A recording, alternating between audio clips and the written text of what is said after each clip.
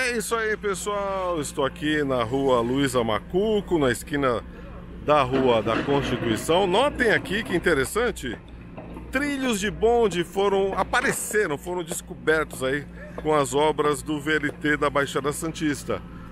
Ao quebrarem a via para fazer a preparação do solo, dos entornos, surgiram trilhos remanescentes do sistema que circulou em Santos.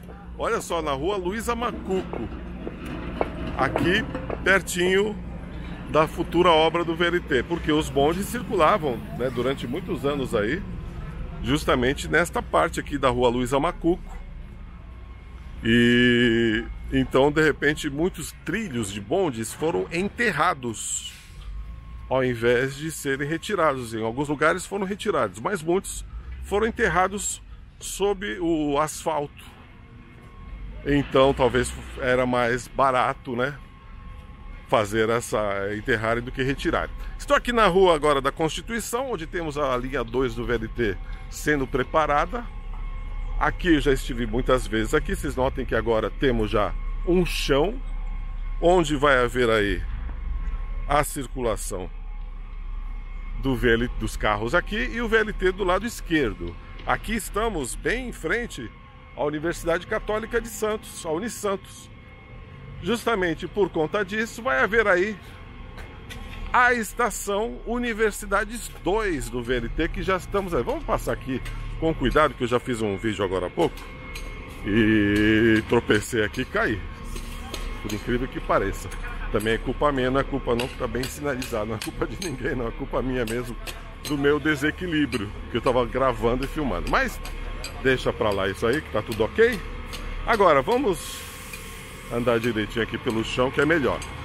Ali temos, temos aqui a preparação do solo. Como eu falei para vocês, esta parte aqui está um bom tempo interditada, né, por conta dessas obras. E é bem provável que em breve a gente tenha aí a liberação para os veículos, asfaltamento e tudo mais, né? Então aqui temos, olha, já a cara da estação Universidades 2 aparecendo aí. O jeitão da universidade da, da estação, já tá com cara de estação mesmo. Então a gente já vai estar tá tendo uma ideia de como vai ser o layout das estações do VLT, porque o VLT da linha 2, eles muito, em grande parte, aliás, em toda a extensão, eles são em via única, né? Uma ida em uma via e uma volta na outra via. Então não vai haver a estação dupla como a gente conhece na linha 1. Então aí, ó, preparação aí para receber o asfalto. E aí os moradores do entorno já tem aí uma perspectiva de liberação da via.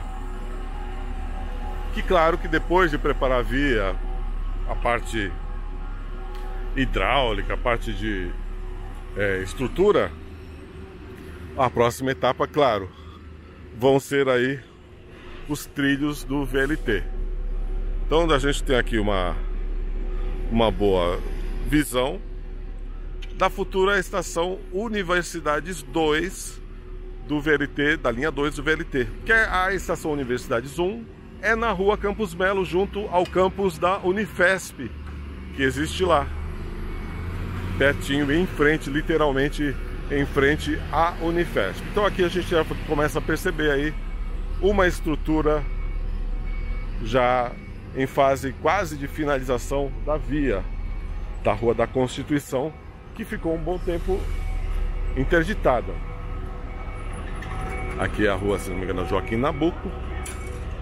E vamos ver aqui como é que está aqui, se a via já está liberada. Mais uma vez agradecendo a você que sempre participa, você sempre comenta com a gente os vídeos.